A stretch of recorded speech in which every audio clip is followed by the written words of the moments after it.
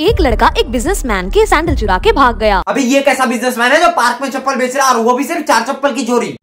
सला ये कौन सा एंगल से चप्पल बेचने वाला लग रहा है इसे देख के ऐसा लग रहा है ये चप्पल का चौकीदारी कर रहा है बिजनेस ने फटाफट फोन निकाला और पुलिस वाले को इन्फॉर्म किया दो पुलिस वाले उसके पास आए और अब ये कौन सा पुलिस है जो बिना वर्दी का आ गया पुलिस वाले भी क्या पार्क में घूमने आए थे क्या मुझे क्या पता मुझसे पूछता रहे और हाँ एक बार इन पुलिस वालों का चप्पल देखो सारा ये पुलिस वाले भी वही चप्पल पहना है जो ये थोड़ी देर पहले बेच रहा था साइकिल चोर और पुलिस वालों ने उस चोर को पकड़ लिया फिर पुलिस वाले उस चोर को सजा दिलवाने के लिए जज और वकील के पास ले गए फिर जज ने कहा की तुमने बहुत बड़ा गुनाह किया है तो बताओ मरने ऐसी पहले तुम्हारी आखिरी इच्छा क्या क्या है वह जज ने सुना भी नहीं जो उसने जुर्म कौन सा किया है लेकिन सजा मौत का सुना दिया अबे लड़ू पहले सुनते तो लो उसने जुर्म कौन सा किया है उसके बाद सजा सुनाई हो नहीं चोर ने कहा मैंने ये नए सैंडल चोरी किए हैं तो मैं देखना चाहता हूँ की मैं इन्हें पहनकर कितनी तेज भाग सकता हूँ जज ने कहा ठीक है तुम्हारी इच्छा मानी जाएगी फिर चोर ने दिमाग लगाया और फर्राटे की तरह वहाँ से फरार हो गया इनका वीडियो में ना फनी सिर्फ एक ही चीज होता है वो है फनी साउंड इफेक्ट और अगर लॉजिक का बात करें तो वो तो क्या है की तड़की कान में